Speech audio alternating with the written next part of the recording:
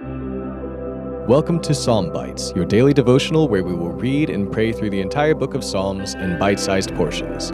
Let's begin with two short prayers inspired by Psalm 119:18 and James 122. God, open my eyes that I may see wondrous things from your word, and help me to be not just a hearer of the word, but a doer.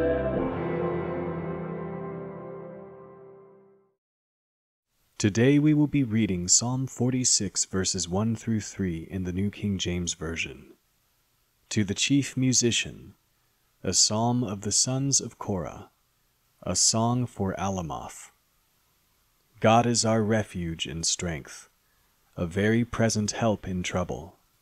Therefore we will not fear, even though the earth be removed, and though the mountains be carried into the midst of the sea, though its waters roar and be troubled, though the mountains shake with its swelling. Selah. I'm going to reread this passage.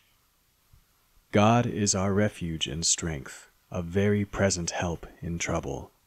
Therefore we will not fear, even though the earth be removed, and though the mountains be carried into the midst of the sea, though its waters roar and be troubled, though the mountains shake with its swelling. Selah. Let's pray.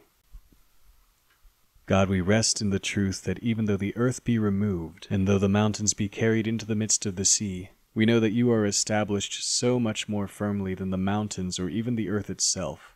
As it says in Psalm 90, verse 2 Before the mountains were brought forth, or ever you had formed the earth and the world, even from everlasting to everlasting, you are God. And though the waters of the sea roar and be troubled, even unto shaking the mountains, we will rest in knowing, Jesus, that yours is the voice that calms the wind and the waves. As it says in Psalm 93, verses 3 through 4, The floods have lifted up, O Lord, the floods have lifted up their voice, the floods lift up their waves. The Lord on high is mightier than the noise of many waters, than the mighty waves of the sea.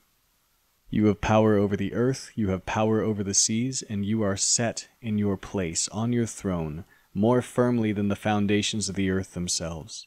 As it says in Psalm 24, verses 1 through 2, The earth is the Lord's, and all its fullness, the world and those who dwell therein, for he has founded it upon the seas and established it upon the waters. Knowing all of these things, Lord, we will not fear, as long as you are our refuge and our very present help in trouble.